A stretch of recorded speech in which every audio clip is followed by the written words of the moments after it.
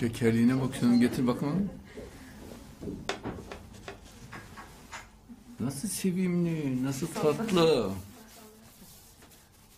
Mesela muhtemelen Hristiyan eee, zalimler mesela nefret ediyor. Bir gün nur gibi yüzü, el yüzü. Şeker, kalbinin temizliği yüzüne vurmuş. Tam cennet kuzusu.